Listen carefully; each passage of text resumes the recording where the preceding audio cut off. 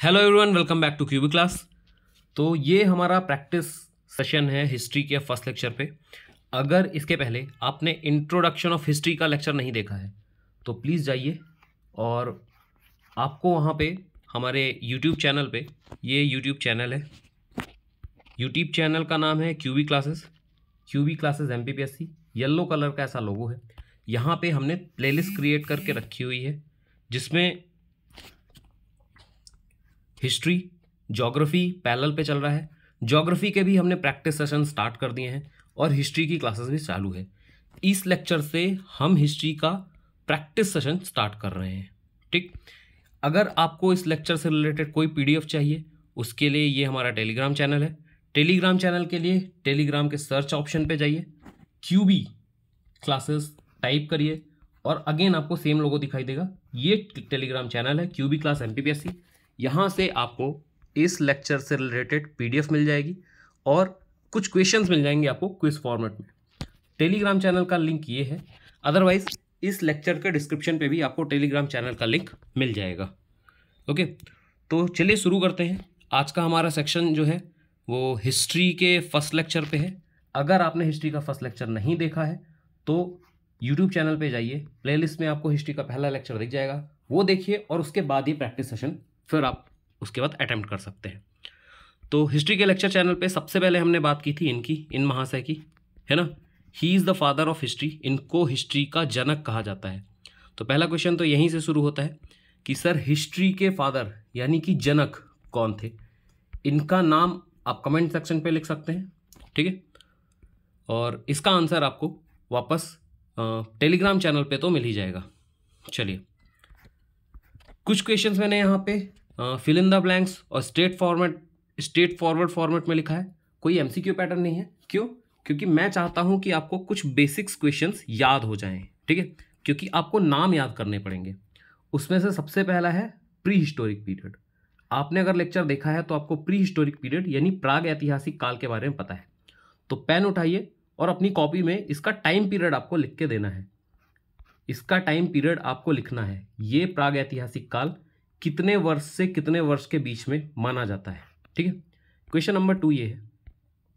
Indus valley civilisation यानी सिंधु घाटी सभ्यता, किस टाइम का पीरियड का हिस्सा है? किस टाइम पीरियड का हिस्सा है? ओके कॉपी उठाइए और यहाँ पे आपको लिखना है। ये प्री हिस्ट्री है प्रोटो हिस्ट्री है या हिस्टोरिकल टाइम पीरियड है?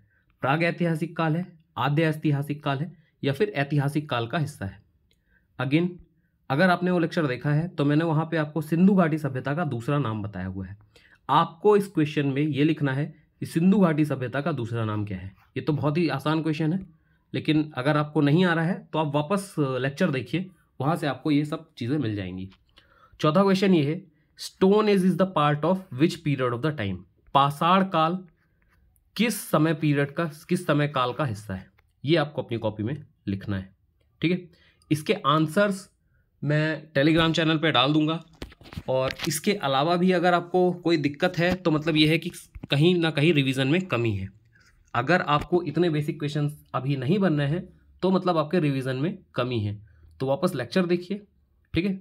हालाँकि उनके जवाब इस क्वेश्चन से भी आपको मिल जाएँगे। यहाँ पे मैंने एक मैच द कॉलम दिया है। मैच द कॉलम देने का कारण ये है कि काफ़ी बच्चों को मैंने देखा है, जब मैंने उनको टेस्ट पेपर्स दिए अपने क्लासेस में तो मुझे ये समझ में आया कि उनको मैच द कॉलम करने में कठिनाई होती है। तो एक बार आप अटैम्प्ट ज़रूर करिएगा। अगर आपको लगता है कि आपको आता है, फिर भी आप अटैम्प्ट करिएगा। थोड़ा सा कॉम्प्लिकेट करने के लिए मैंने इधर चार ऑप्शन दिए हैं ए बी सी और डी और इधर सिर्फ़ तीन ऑप्शन दिए हैं वन टू और थ्री तो आपको ये मैच करना है कि कौन सा कौन सा टाइम पीरियड का सिविलाइजेशन या कौन सा एज जो है या समय है, वो किस टाइम पीरियड से मैच करता है, ठीक है? ये आपको बताना है। मतलब ये है कि सिंधु घाटी सभ्यता किस पीरियड से संबंधित है? स्टोन एज किस पीरियड से संबंधित है? अठारह सौ सत्तावन के बाद का समय काल किस पीरियड से संबंधित है? और ऋवैदिक पीरियड किस पीरियड से संबंधित है? क्वेश्चन को पॉज करिए। सॉरी वीडियो को पॉज करिए। और ये क्वेश्चन एक बार अटेम्प्ट करने की कोशिश करिए। आई होप आपने क्वेश्चन को एक बार अटैम्प्ट करने की कोशिश की होगी। अगर नहीं किया है तो एक बार इसका आंसर देखते हैं। C Indus valley civilisation Sindhu घाटी सभ्यता, ये जो है, ये प्रोटो हिस्टोरिक पीरियड का टाइम पीरियड का टाइम पीरियड का माना जाता है। क्यों? क्योंकि प्रोटो हिस्ट्री वो टाइम पीरियड है, जब हमारे पास लिखित साक्ष्य तो है रिटर्न एविडेंस तो है, लेकिन इनको हमने पढ़ा नहीं है डिसाइफर नहीं किया है, ठीक है? तो ए का आप ऐसा मैच कर सकते हैं सेकंड इसके बाद स्टोन एज की बात आती है। Stone age prehistorical time period है, जब इंसान ने लिखना, पढ़ना नहीं सीखा था, ओके? प्री हिस्टोरिकल यानी प्राग ऐतिहासिक काल तो B is related to third now अठारह के बाद का समय पीरियड आफ्टर 1857 मैं कलर चेंज कर रहा हूँ। पीरियड आफ्टर 1857 ये जो पीरियड है ये हिस्टोरिकल पीरियड का है। सो so, सी का वन। लास्ट में ऋग्वैदिक पीरियड मिलता है। ऋग्वैदिक पीरियड या वैदिक पीरियड को लेकर हिस्टोरियंस में कई बार डिबेट है। ये विवाद का प्रश्न है। लेकिन मैंने आपको बोला है कि आप ऋग्वैदिक पीरियड को प्रोटो हिस्ट्री का पीरियड मान सकते हैं। ऐसा क्यों है? ये हम आने वाले एक या दो लेक्चर के बाद आपको इसमें हम बहुत डिटेल में बातें करेंगे।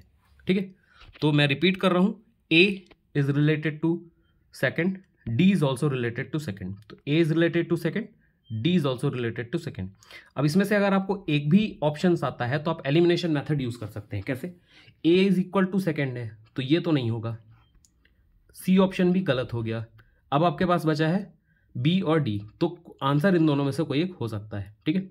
इसके बाद अगर हम स्टोन एज देखें स्टोन एज सबसे पहले की घटना है। इसका मतलब ये स्टोन एज सबसे पहले की घटना है, इसका मतलब ये proto histo pre historical period का है, प्रागैतिहासिक कारण है। तो बी का सी तो हमारा बी आंसर जो है, वो करेक्ट हो जाता है, ठीक है? अगर आपको ये चीज़ें समझ में नहीं आ रही हैं तो एक बार वापस जाइए प्लेलिस्ट पे जाइए, वहाँ हिस्ट्री का पहला लेक्चर देखिए, उसमें बेसिक इंट्रोडक्शन के बारे में बात किया गया है। और अगर आपको ये क्वेश्चन यहाँ से समझ में आ गए हैं तो इसके पहले की स्लाइड के जो क्वेश्चन हैं, ये आप सारे के सारे अटैम्प्ट कर सकते हैं, ठीक है?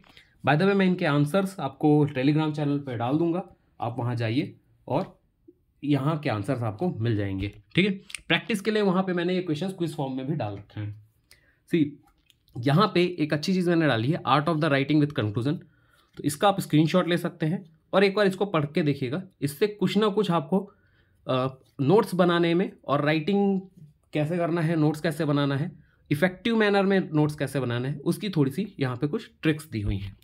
जो आपको डेफिनेटली आपकी प्रिपरेशन में कहीं ना कहीं हेल्प करेगा। सो आई होप आपको ये लेक्चर पसंद आया होगा। और अगर इसमें आप कोई भी परिवर्तन या कोई भी मॉडिफिकेशन करना चाहते हैं तो आप प्लीज़ मुझे कमेंट सेक्शन पे बता सकते हैं। Thank you